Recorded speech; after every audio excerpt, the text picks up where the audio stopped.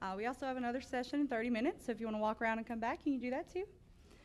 Hello, everyone. My name is Jennifer Dugan. I work with the High School Connections Office as a career coach here at Fayetteville Tech. Uh, thank you for spending your Thursday evening coming out to learn about all the wonderful things we have for you. I am going to try not to um a lot, but I do do that, so apologies in advance. I'm also not going to tell a joke because I'm not very funny, so we're just going to get straight into it. So uh, today we are going to talk about what is High School Connections, what are the opportunities available, um, our connection to the high school, as well as why High School Connections, or we call it HSC, is a good option for your student, and what the next steps are after you leave here today. So, what is High School Connections or HSC? This is an opportunity to provide college access to eligible students. And it's an opportunity for your student to jumpstart their career, um, whether they want to pursue a four year degree after high school or if they are more interested in a career technical area. They have that option as well. It is tuition free college credit that is transferable to the UNC system schools.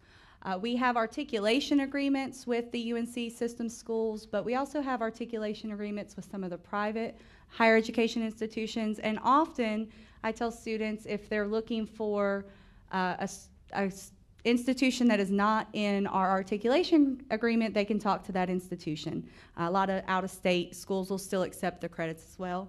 And then earning stackable credentials, things that you can stack on top of each other uh, to be more qualified in a career field. So, what makes your student eligible? So, if your student is currently a sophomore or currently a junior, um, so rising juniors and seniors, they need to have an unweighted GPA of 2.8 or higher. Um, there are waivers that can be written by the school counselor if their GPA is under a 2.8, but that is a decision based at the school. They do have to attend a North Carolina public, private, or registered homeschool. As long as they are a student in North Carolina, they are allowed to be a part of the program. Uh, for public schools and private schools, some public schools that are out of county uh, have a little bit different rules as to which programs, but it is part of the state eligibility. You would complete your application, your enrollment form, which is what you would do to choose the program or classes that you'd like to take and the transcript. And then you do have to have the space in your high school schedule to accommodate the classes. Uh, if your student is going into their freshman or sophomore year, they can start the program prior to their junior year, but there are extra criteria that they have to meet. Our program is primarily designed for the juniors and seniors. However, uh, if your student has a 2.8 GPA or higher, unweighted. Um, they are in their school's AIG math and reading, or has an aptitude test with a 92 percentile or higher in math and reading, and qualifying readiness scores on like an SAT, ACT, those kind of things. Again, this isn't the common practice for our students in high school connections, uh, but it is an option if you do have a student going into ninth or 10th grade. Okay, the pathways is, is the, the meat and potatoes. That's the important part. So your student has to think about what do they want to do when they leave high school. And when they're in 10th grade or 11th grade, sometimes the answer is, I don't know. And that is okay. A great part about this program is that this program gives students the opportunity to explore things that they might be interested in to make that decision before they go off to four year or before they get into a career field and then decide, oh, maybe that's not something I'm so interested in. We have different pathways available. Our college transfer pathways are pathways where students are taking general education credit. These are those college transferable classes. Um, these are credits that work towards an associate's degree. This is not something that earns you an associate's degree in our program. That's more the early college side, uh, but these will move towards an associate's degree. And we have arts pathways, science. Uh, we do have teacher prep pathways, engineering, fine arts, And starting in the fall, we have a new pathway that will lead students that are interested in pursuing a nursing degree. We are opening that pathway, and that's new for our students in the fall. Uh, these pathways, the college transfer, will not allow a waiver. So if your student does not have an unweighted GPA of 2.8 or higher, they would not be able to go into these courses until their GPA was a 2.8 or higher. Our career technical education uh, programs, we have over 40 options for career technical education. Uh, they are stackable credentials. A student can take a certificate in the junior year of high school, and then they can take a similar certificate their senior year, or they can start working towards that degree's associate degree. So if a student starts in Business Foundations, which is one of our certificates, finishes that, their senior year, they can start taking classes towards a business associate's degree. Uh, we have classes in business, we have information technology, so the IT world, engineering, human service, so that's kind of like your cosmetology, your culinary areas, uh, public safety, criminal justice, fire protection, things of that nature. We have several healthcare programs that offer clinical hours and uh, licensure um, media and fine arts, and then of course our skilled trades, where if a student is more interested in maybe working with their hands, construction, plumbing, welding, those options are available to students as well. And these are the programs that many of them offer the GPA waiver. Not all of them, there's a few, but for the most part, I would say about 35 of the 40 or so will allow a waiver for your student to participate if they're under a 2.8. Uh, one thing about the career technicals, when your student does uh, pass their their test for their certificate, they are invited to participate in the Fayetteville Technical Community College commencement ceremony as well. So they can walk in that ceremony. They wear their high school regalia. It's a, it's a fun experience for them. Um, so the big question is, this sounds too good to be true. How much are you going to make me pay for it? So tuition is waived because the state of North Carolina is paying the tuition for your student to take these classes. There is a fee every semester. Right now it's $51. Uh, that's whether your student takes one class or takes five classes. It's just one fee per semester. Uh, our Cumberland County public school students, the Cumberland County Schools does pay that fee during fall semester and spring semester. If your student takes summer courses, that is your responsibility. Some of our private schools will pay this fee for their students. Uh, not all of them. We tell students to check with their administration, and then homeschool students, of course, would be responsible every semester.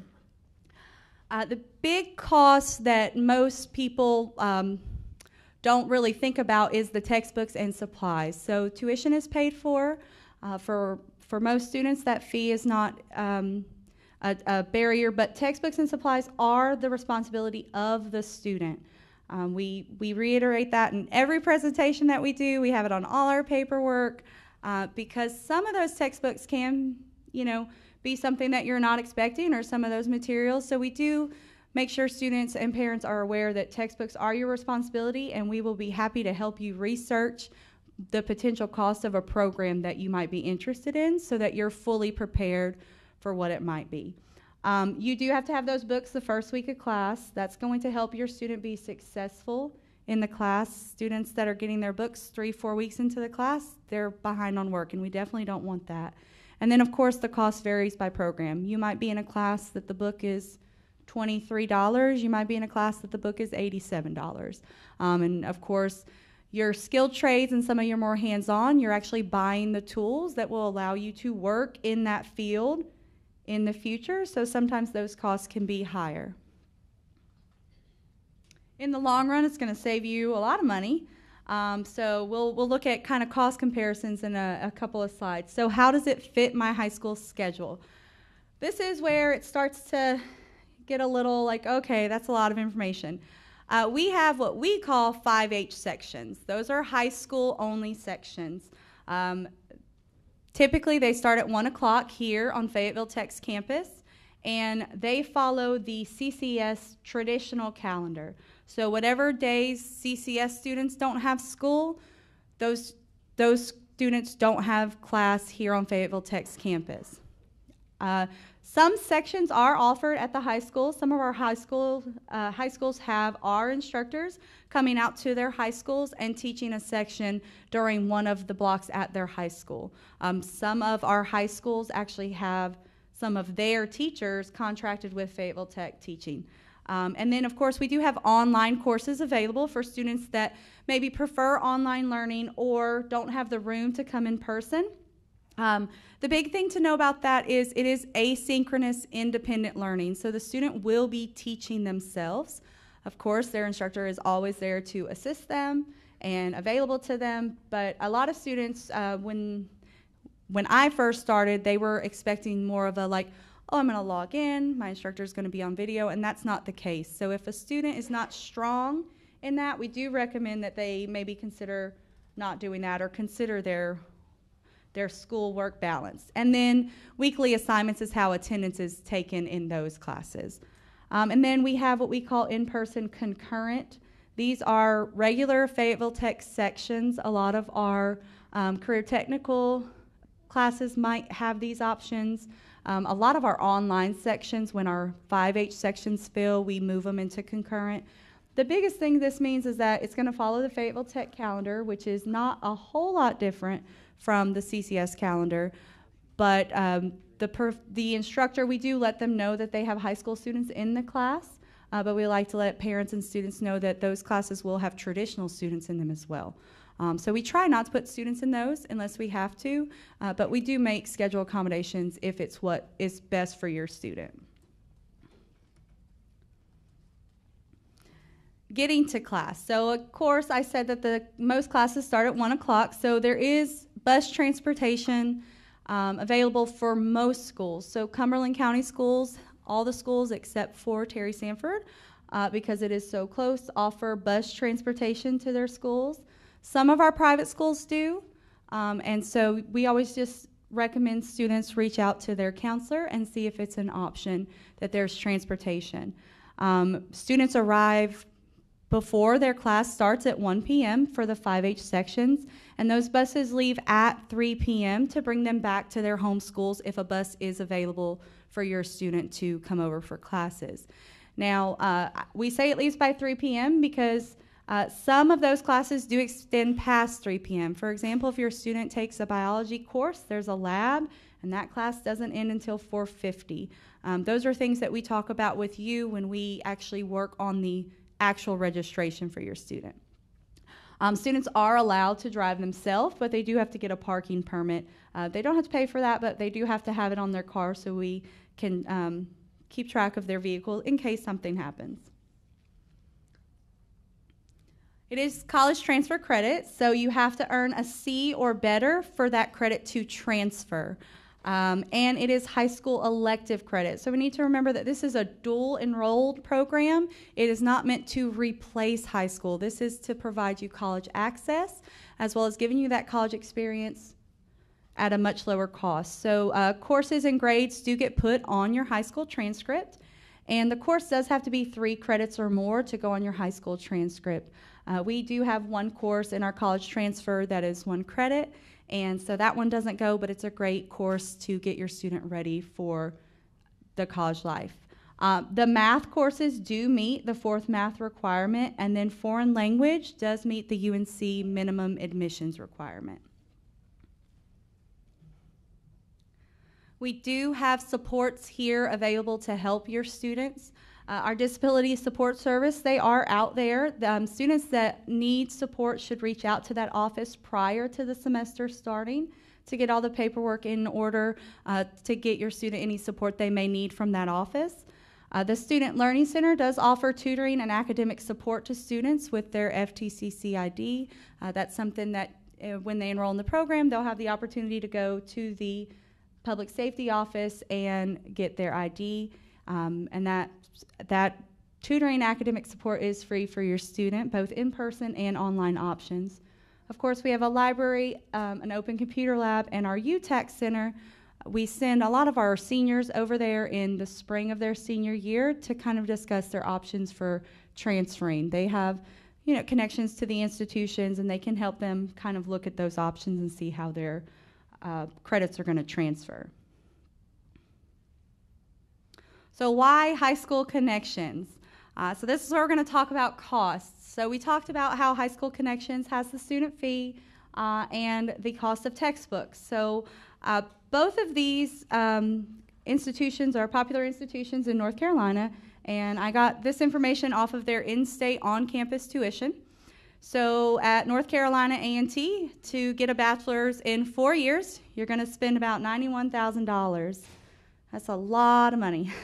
to get an associate's degree, it's about 50000 And then in App State, your bachelor's is going to cost you about $81,000.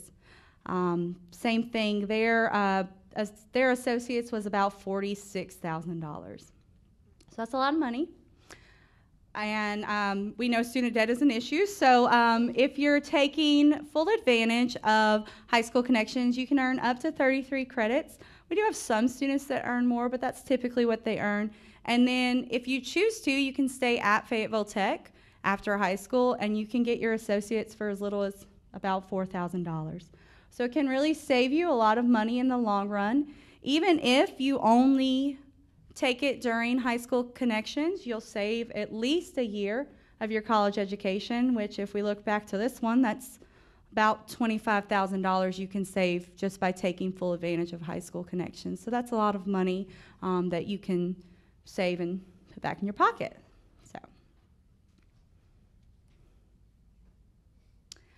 And then here are the next steps for you. So, uh, high school connection career coaches are going to work with your high school to schedule a date. Uh, we do have almost every school's date scheduled. We are waiting to hear back from a few. Um, and we do have in the big A frames, there's one at the back of the room. They're all over the, the, um, the lobby area.